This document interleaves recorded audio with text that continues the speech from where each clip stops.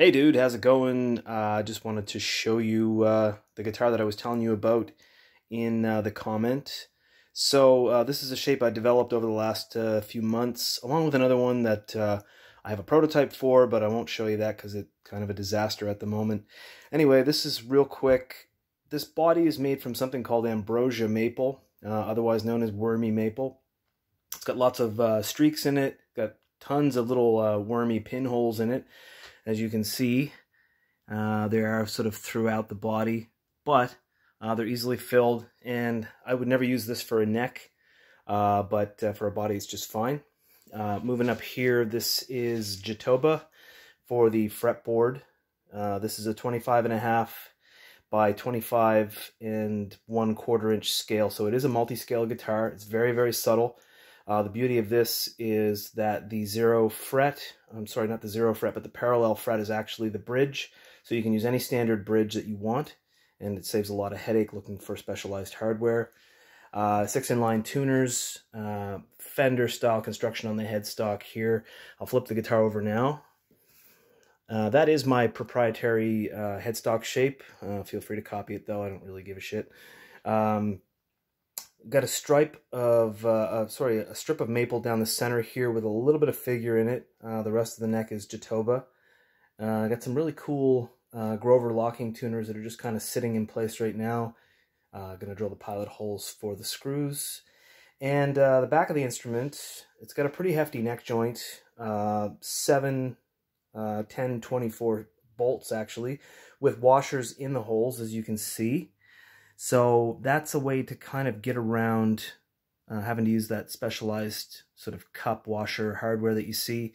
Uh, I'm just working, um, you know, kind of by instinct. A lot of this is just a learning process for me. I have carved a bit of relief into that joint, as you can see. Uh, but there's pretty good access there. It's quite comfy. The back is uh, not maple, but it's actually made out of bamboo.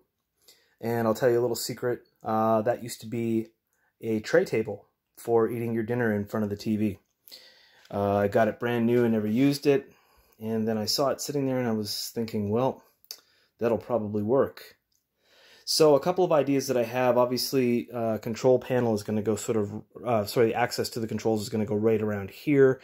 I'm thinking actually of putting a Fender style, a Fender Stratocaster style um, output jack there on the back so that you can access both of this curve and this curve back here uh, when you're in the seated position.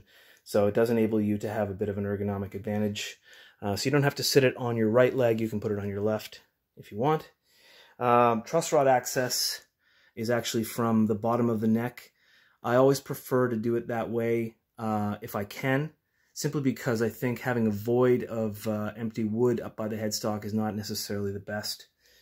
These are simple uh, plastic dot inlays. Uh, got a whole bunch of little plastic rods of different diameters from a hobby store locally here. And, uh, in, you know, just drill the hole, stick them in, glue them in. And they're, they're really good. They're seamless pretty much. Sorry for the focus there. And uh, the final sanding and radiusing has been done on this fretboard. I'm going to have to deepen the slots a little bit.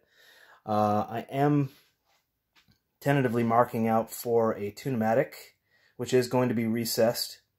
Um, I got one from my local uh, Long and McQuade music store here in uh, Canada, Halifax, Nova Scotia, in fact, uh, at a pretty reduced rate. I got it for like a like fifty bucks, brand new. Uh, TonePros locking system two.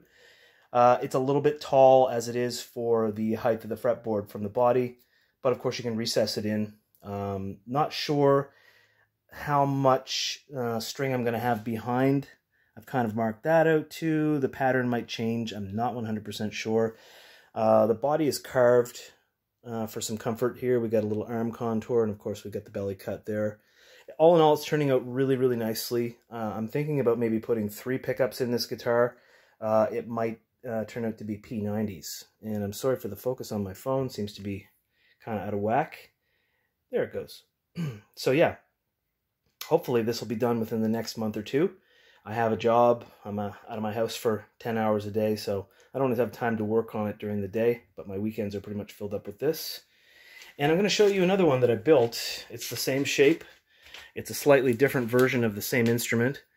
Uh, I'm thinking of actually offering two models with the same shape. Uh, as you can see, this one is also multi-scale. This one actually has its, uh, its parallel fret at the nut. And this one has a tilt back headstock, much like a Gibson guitar would have, with a volute. Um, now, this guitar uh, is essentially a prototype. Uh, the pickup is in there. The controls are in there. It's not wired together yet. Uh, this guitar is a little bit smaller than the one that I just showed you across the width, about three quarters of an inch overall. Um, I'm not a really big dude. I'm about uh, five foot seven, like 150 pounds. So uh, a standard electric guitar kind of looks a little bit big on me, to be quite frank. And I built this for me.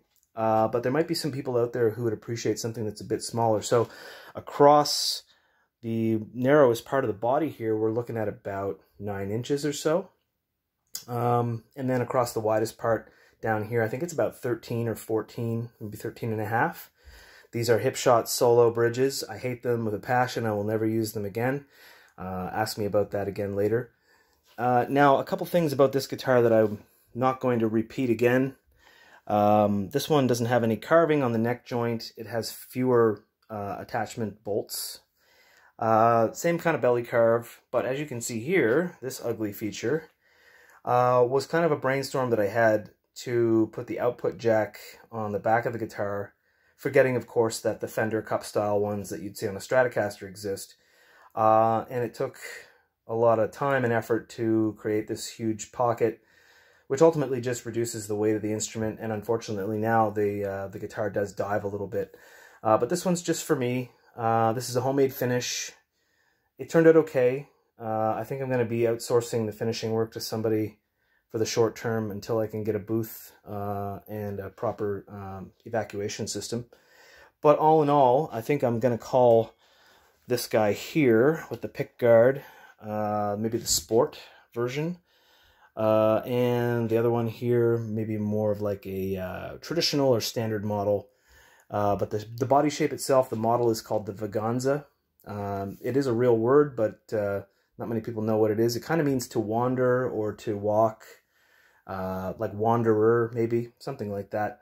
Uh, ultimately, you know, the model name is, uh, you know, superfluous to uh, the performance of the guitar. And thankfully, uh, you know, the one that I've got completed here, although it's not wired up, it plays like a gem, uh, stays in tune, uh, really, really stable. It's got a truss rod, uh, two carbon fiber uh, stiffeners in the neck, as does uh, the traditional here as well. And um, I'm thinking of, uh, you know, getting my website up and running as soon as I possibly can. And it's all going to hinge on maybe selling this one. I'm going to make a case for it and also a custom made hardwood stand. Uh, as you can see, it's an asymmetrical body, so it's going to have a little trouble uh, conforming to a regular guitar stand. And uh, depending upon how all that costs out, uh, we'll see, uh, you know, I might uh, have enough, get enough profit off of it to get some proper tools. I do this all by hand. I have a hand drill, a hand router, and those are the only two, oh, and a jigsaw. Those are the only three power tools that I actually use. Everything else is done by hand. So a lot of time, a lot of effort, uh, but hopefully uh, we can uh, we can have some success with this.